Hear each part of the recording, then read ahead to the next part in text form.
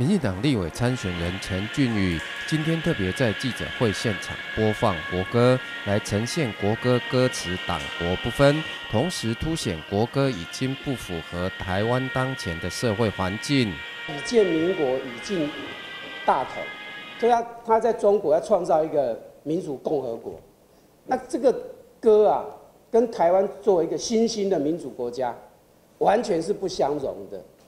那整个歌词啊。跟台湾作为一个这样新兴民主国家是完全不同，不能代表台湾这样的一个有活力，然后有实力，然后多元开发的这样的一个国家，所以是完全不一样，而且又难唱。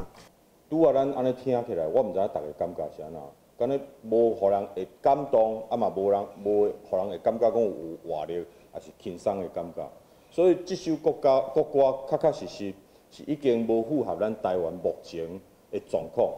啊，我未来进入立法院，会强烈来要求咱相关的部会，对于国歌的部分，应该要重新来拟定新的这个歌词甲歌曲吼。陈俊宇说：“很多人可能认为修改国歌不重要，但是今天若是民进党的党歌变成国歌，大家会有什么样的感受？因此主张推动国家正常化，就要重新创作符合台湾精神、凝聚台湾人的新国歌。”这是当时迄个国民党所发布的一纸公文哦，伊内底就是写着就是讲，以中华、以中国国民党的党歌。为中华民国的国歌，一家叫下的，哦，就一纸公文就把国歌定调，就是用中国国民党的党歌。哦，啊，咱因为一个国家应该有国家的这个价，而且人民要安怎去凝聚因的向心力，咱应该是爱有一条属于咱台湾人真正的国歌。所以未来准有若有机会进入国会，要推动咱。啊，国家正常化吼，啊，我希望讲，咱会当重新来拟定啊一首真正属于咱台湾人的国歌。联合竞选总部副主委陈金德则是指出，国歌是凝聚人民共识的精神象征，各国国歌都有其意义。台湾是民主的国家，为何用中国国民党的党歌来作为国歌？应该审慎思考。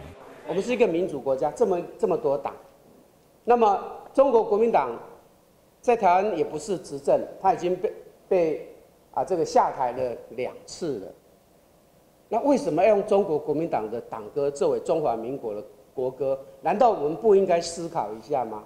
难道我们不应该思考一下，我们要用什么歌 做国歌呢？那中国国民党他为什么坚持不改、不同意中华民国的国歌，要重新来由？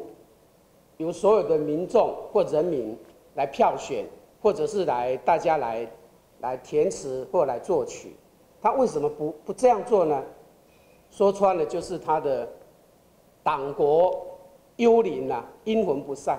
国家要正常化，党歌不是国歌。国家要正常化，党歌不是国歌。依然新闻记者赖福兴采访报道。